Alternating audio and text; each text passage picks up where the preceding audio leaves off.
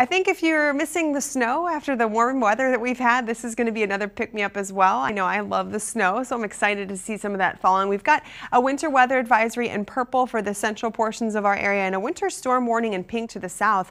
And that's for tonight and into early tomorrow morning for the potential for snow that we're expecting. The heavier amounts the further south where that warning is in effect. Already seeing some of that snow kind of inch through the northern, or rather the south and western portions of our area. I think the snow is going to be pretty spotty and light this morning at best, but it will be filling out as the day goes on.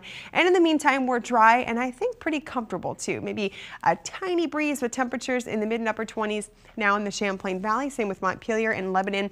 30 degrees in Middlebury still and 30 degrees in Bennington. We're going to get up into the mid 30s by lunchtime, afternoon and evening in the upper 30s. That breeze picks up and that's also when that snow continues to take over.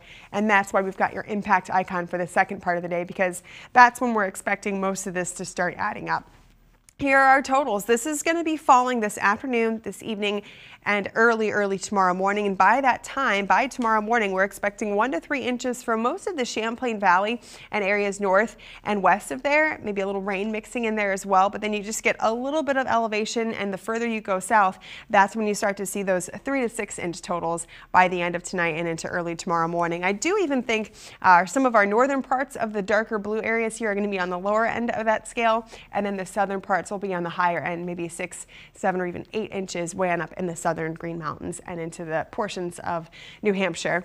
Regardless, just kind of a sloppy afternoon here ahead of us. From, from now to about midday, those showers are going to be relatively light and pretty spotty.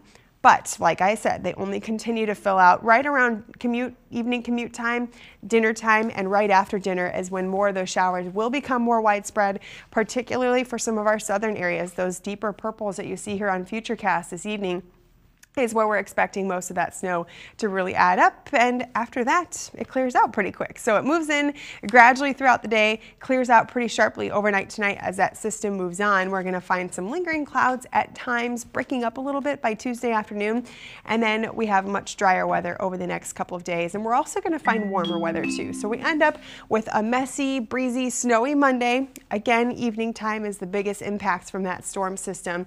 Drier, warmer Tuesday, we end up in the mid 40s on Wednesday with maybe some clouds and a few spot showers at best. But otherwise, we're pretty dry in the coming days until a next chance at some mix on Friday morning.